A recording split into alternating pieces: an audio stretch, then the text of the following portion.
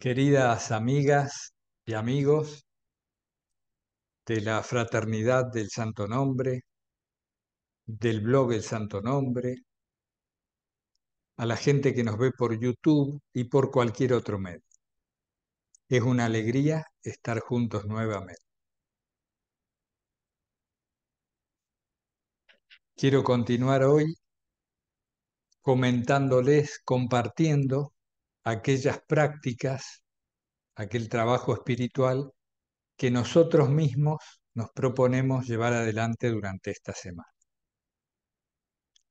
Quienes han visto los vídeos anteriores de este año sabrán que abordamos primero en enero, nos fuimos introduciendo un poco con el tema de lo sagrado, de mantener la conexión con la presencia de Dios, con esa sintonía que llamamos lo sagrado en el cotidiano.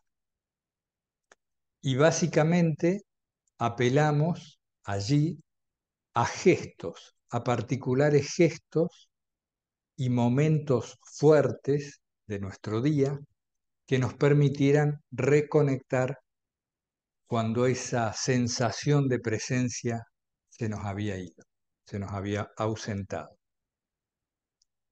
No porque Dios sea parte de nosotros, sino porque nosotros atendemos a otras cosas.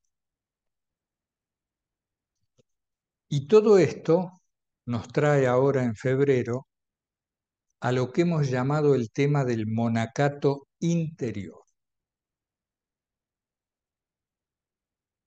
¿Qué características tiene el monje exterior que nosotros queremos incorporar y hacer nuestras en el interior, en nuestro mundo interno? Ya sabemos que la exterioridad puede ayudar.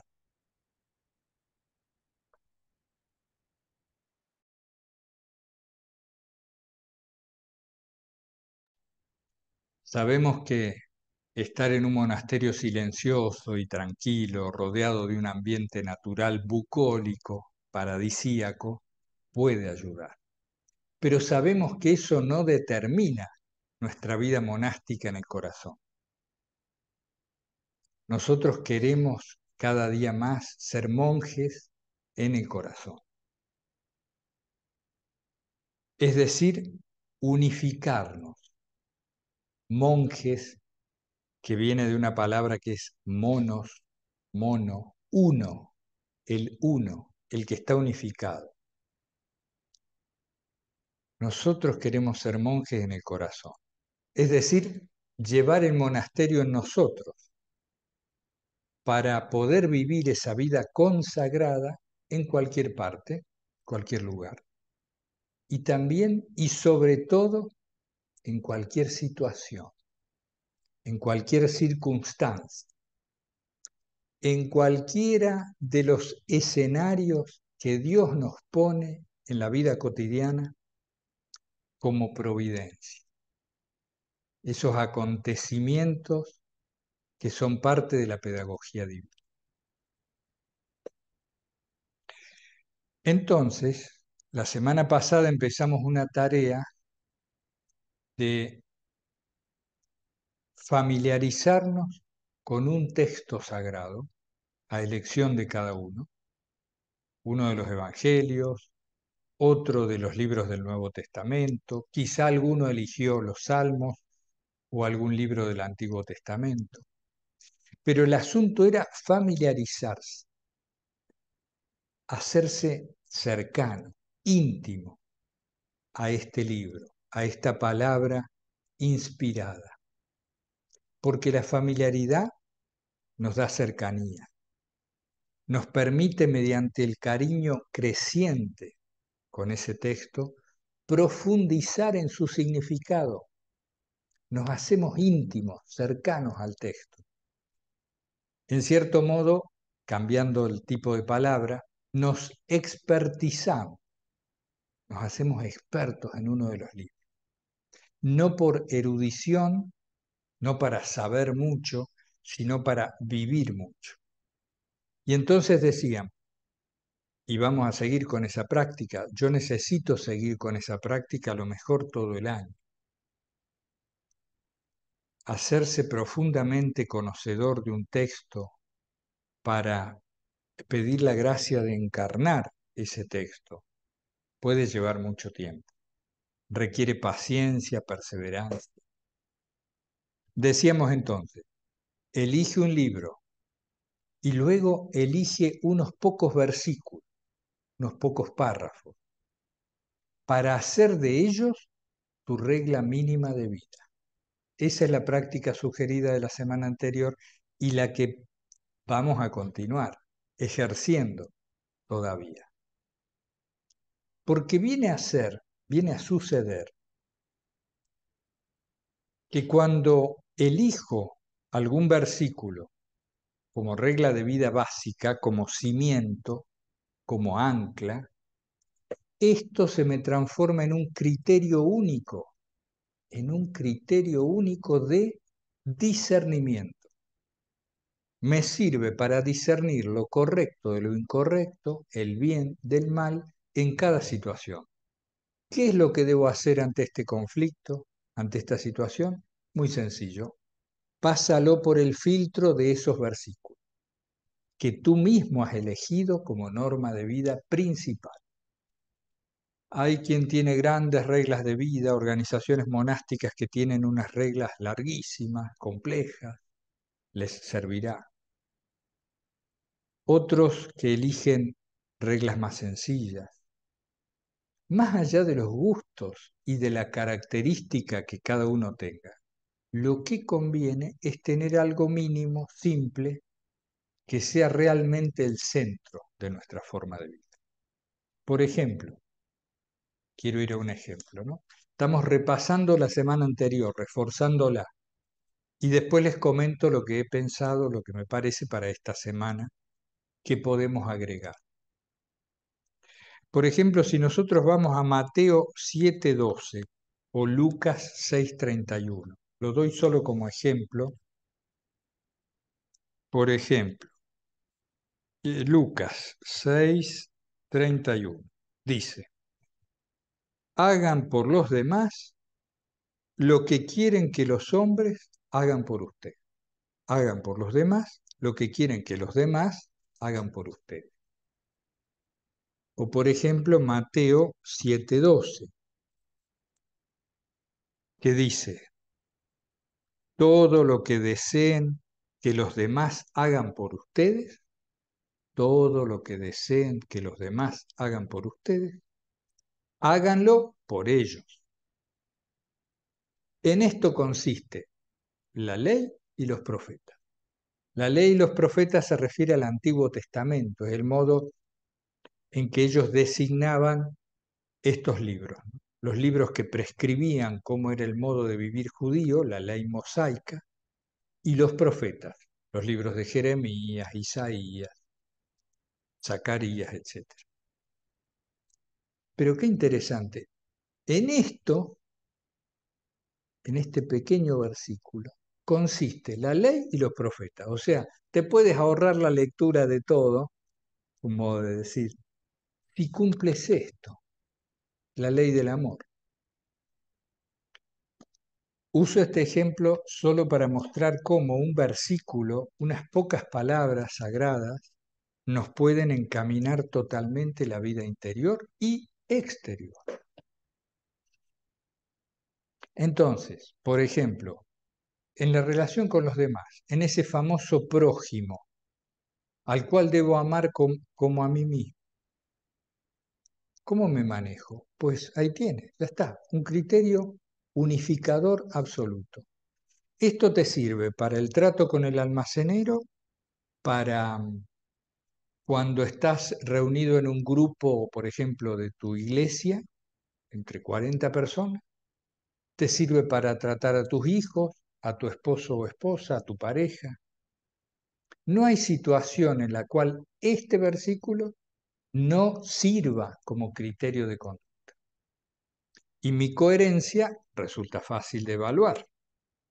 ¿Trato a los demás como quiero que a mí me traten o no? Y ahí vamos ajustando, tratando de ajustarnos en la coherencia. Entonces, la semana anterior decíamos esto. Elige un libro, elige unos pocos párrafos y trata de hacer de ellos tu regla de Eso hay que continuarlo. Las prácticas no son como para ir tildando, ya hice esta, ya probé esta, sino para ir incorporando, para irla sumando, encarnando en nosotros. Continuamos entonces con esto del monacato interior. ¿Cómo es esto del monacato interior? Se trata de que lo exterior que podemos observar en la vida monástica en toda la historia, lo exterior, le encontremos el equivalente interno. ¿Qué es el monacato interior? Vivir dentro lo que los demás monjes viven también por fuera. Vamos a otro ejemplo.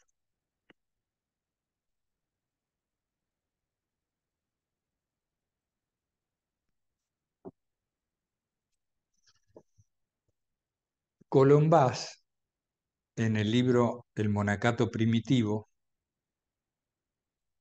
habla, por ejemplo, de tres características, habla de muchas más, pero entre ellas tres características de la vida monástica. La soledad, el silencio y la oración. Una que yo les mencioné es esta de la familiaridad con la Sagrada Escritura. Pero además dice, el monje vive una vida de silencio. Y esto ha sido una característica común a lo largo de la historia de la vida monástica. Y no solo en el cristianismo, ya desde los primeros padres del desierto, sino también en otras culturas. El monje es un tipo de silencio. Tiende a la soledad, otra característica. Aun cuando vive en comunidad, tiende a la soledad, tiene su celda, Y tiende a vivir en oración. La oración continua o la oración frecuente ha sido una aspiración de lo monástico desde siempre. Es decir, la unión con Dios, el contacto, el diálogo, la permanencia en la presencia de Dios, de ese Dios que es, para el monje, lo más importante. Esta es la característica fundamental de lo monástico, que vive tendido, estirado hacia Dios.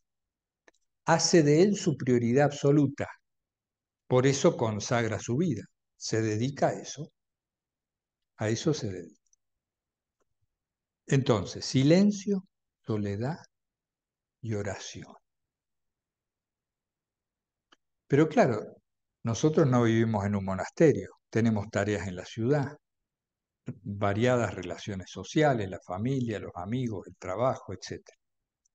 ¿Cómo puedo vivir un monacato interior de silencio, de soledad y de oración?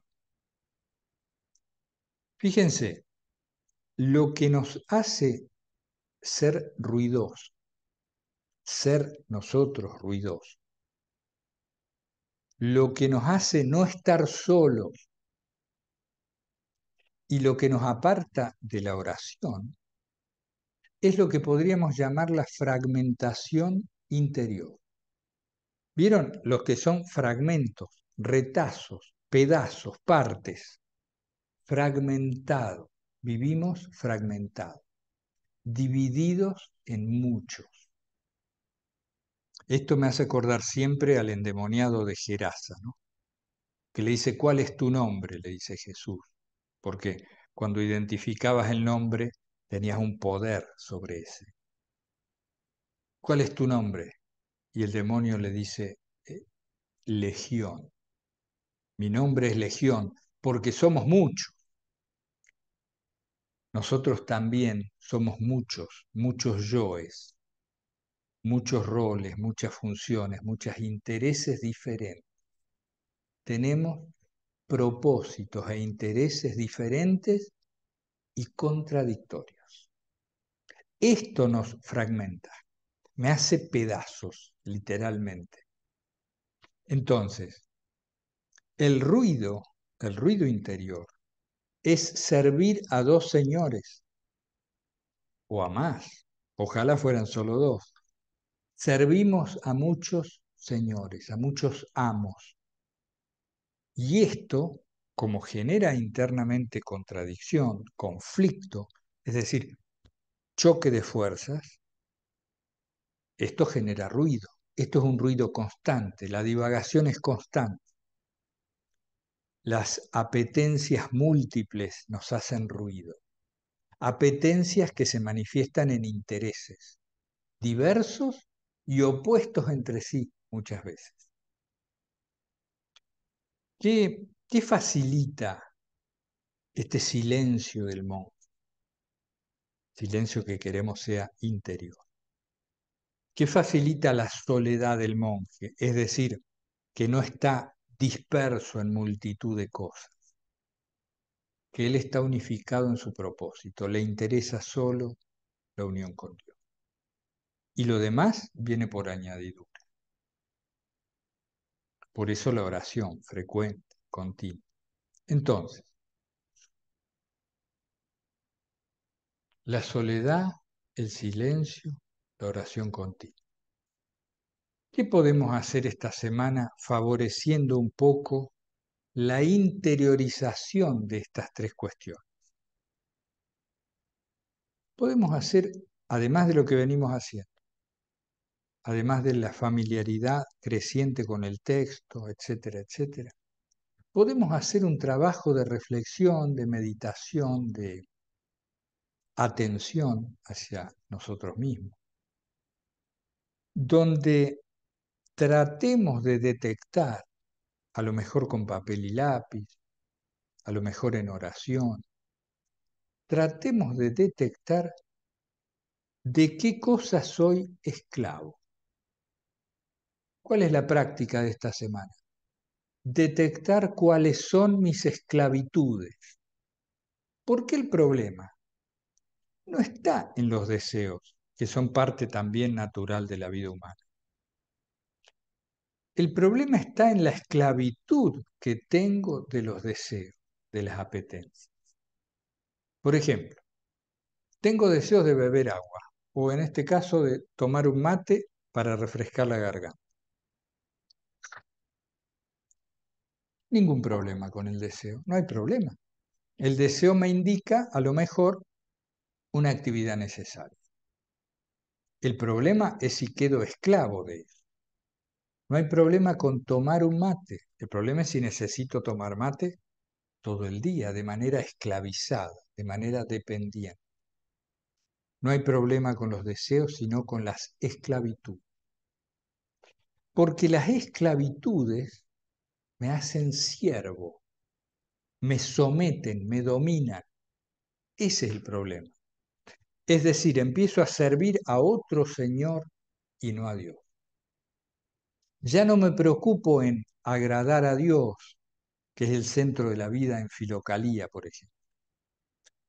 Ya no me preocupo en cumplir los evangelios, en adecuarme a Cristo, en transparentar a Cristo, sino que me preocupo de esa esclavitud que me domina.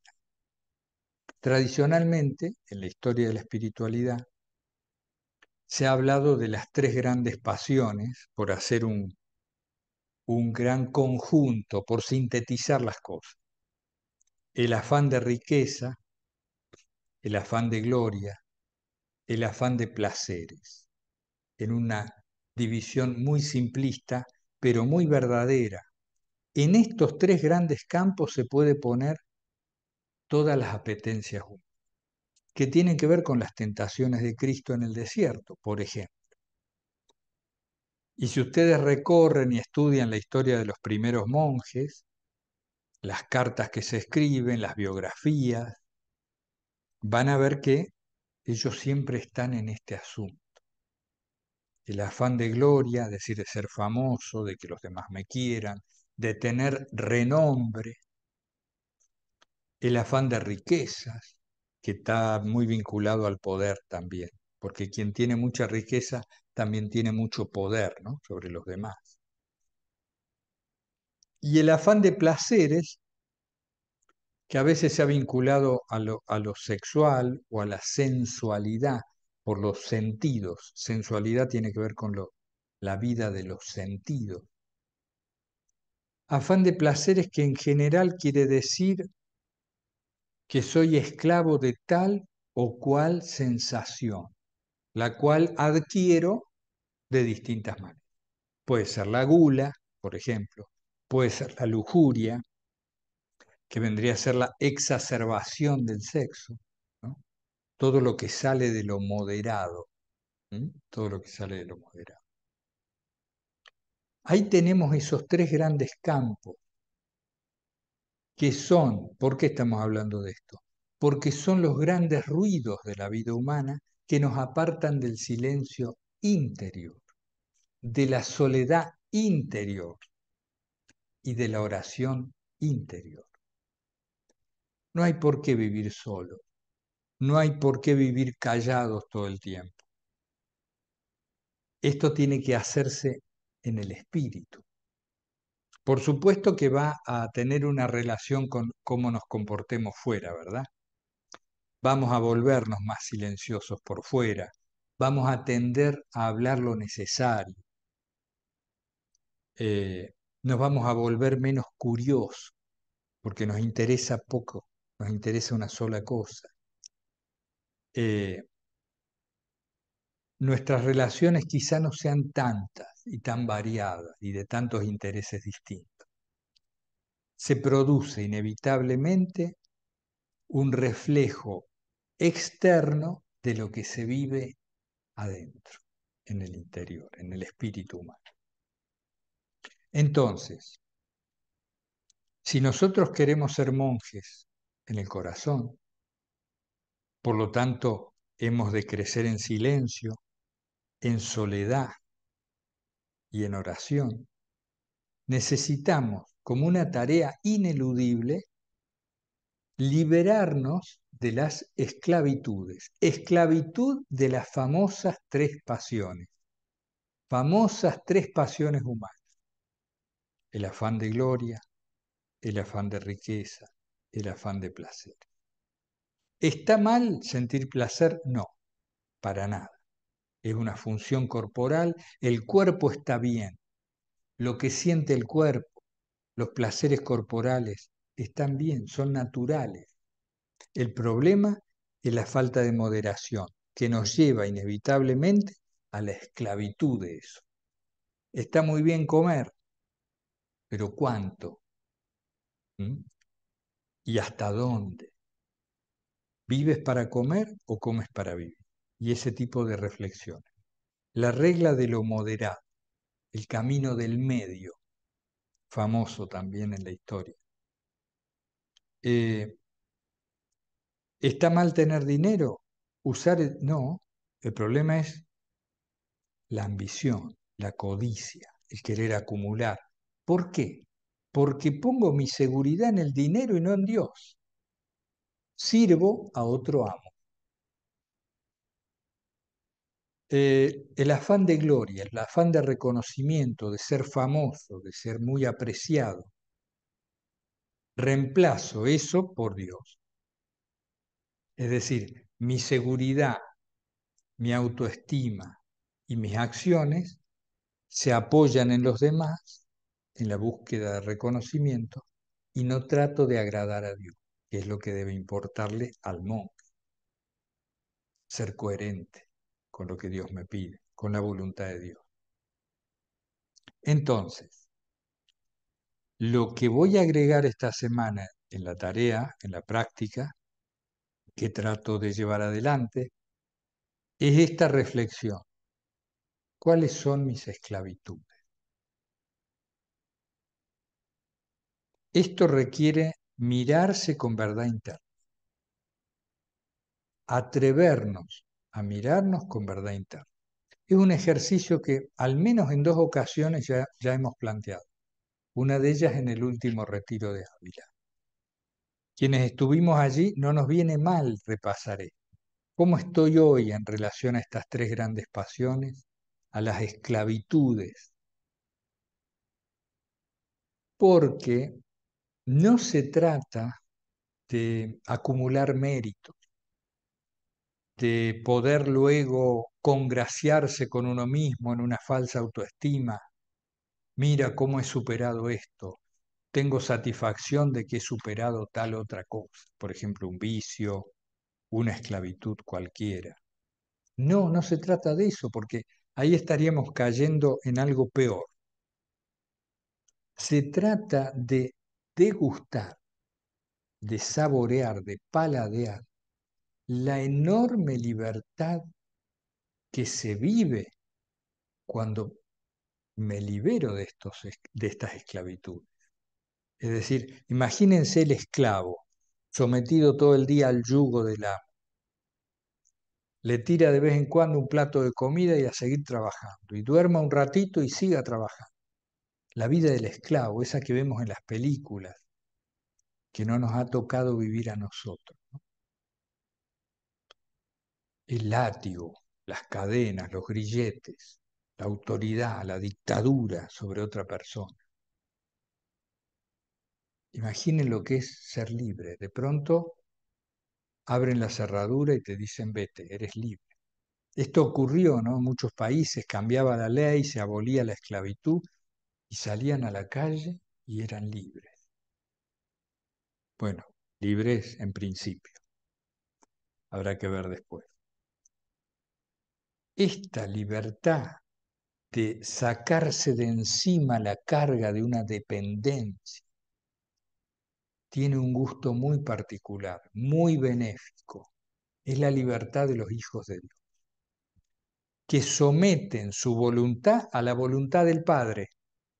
No hay mayor libertad que seguir la voluntad de Dios, que alinearse a ella. Muchas veces se confunde la libertad con lo que se llama la espontaneidad, es decir, hago lo que quiero, pero en realidad es hacer lo que quieren mis compulsiones, mis pulsiones, mis apetitos desenfrenados. A eso se le llama ser libre. No, eso no es ser libre, eso es ser esclavo, es al revés. ¿Por qué? Porque ni siquiera elijo esa dependencia. Me ocurre que me encuentro esclavizado, por ejemplo, de la gula. Me ocurre. Pero claro, en una mirada rápida parece que ser libre es eso, tengo el poder de hacer lo que quiero. Por eso la importancia del dinero, porque con dinero hago lo que quiero en cualquier momento, compro lo que sea, más en este mundo actual. Pero esto, esto en realidad es el dominio de las compulsiones, de las apetencias, no es lo que quiero realmente. Eh, es, muy importante no confundir esto que decimos, esto que planteamos, con un rechazo al cuerpo. Nada más lejos de nuestra intención. Al contrario, el cuerpo es templo del Espíritu Santo, el cuerpo humano es una maravilla, una perfección increíble, es manifestación del Espíritu que lo anima. Por eso, tratar bien al cuerpo es fundamental. Y tratar bien al cuerpo implica no esclavizarlo a cosas que lo dañan. Bueno, para no irme de tema, siempre empiezo y me voy. Em, la soledad, el silencio y la oración. Tres características del monje exterior, del arquetipo, que nosotros queremos llevar adentro, vivir dentro, en el corazón. Imaginen que el corazón se nos transforma en una ermita, o en una celda de monasterio. El día a día tiene que ser mi claustro, mi claustro, esos pasillos largos, esas enormes galerías que tanto nos gustan cuando visitamos monasterios, silenciosas, vamos caminando ahí, rezando interiormente, se escuchan los pasos apenas, o algún pajarito, el silencio del claustro abres la capilla y el aroma de la madera, de la piedra, de los cirios, del incienso. ¿Mm? Es para ambientarlos que digo esto. Qué lindo el monasterio, pero qué lindo tenerlo dentro, llevarlo conmigo todo el tiempo, eso es lo importante. Entonces, es necesario, como los monjes de toda la historia, familiarizarme íntimamente con algún libro de la Sagrada Escritura. Hacer de algunos versículos mi regla básica, mi fundamento, la piedra angular que se le llama, ¿no? la piedra fundacional de la construcción posterior. Esos versículos, que me sirven de criterio unificador para cualquier situación. Eso es muy interesante que en la elección de los versículos que ustedes hagan, darnos cuenta si ese versículo nos sirve para cualquier situación.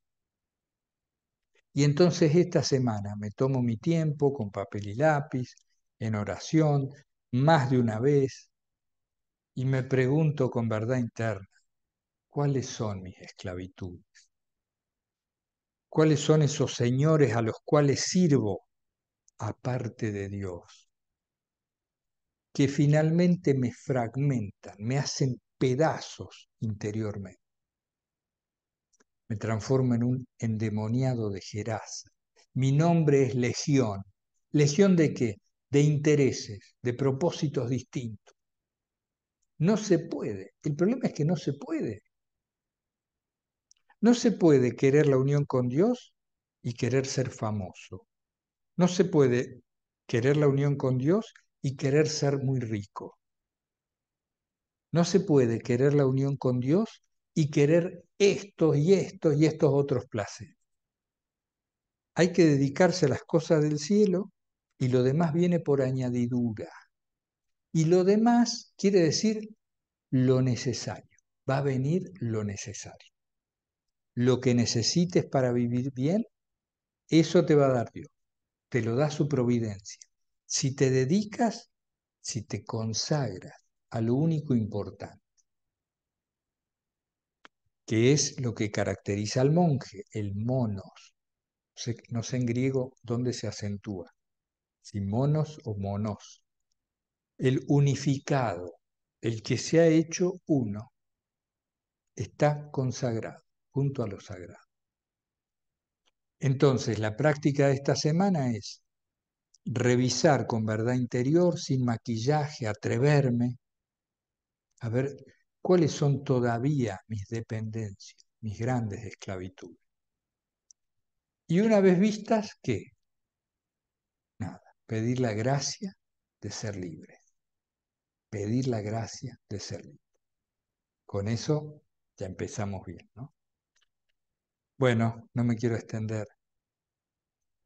Les agradezco mucho los comentarios, las consultas y las objeciones también, porque esto enriquece el espacio y me permite continuar. Hermanas y hermanos, les mando un abrazo fraterno a todos, invocando siempre, de ser posible sin cesar, el santo nombre del Señor Jesús. Hasta pronto.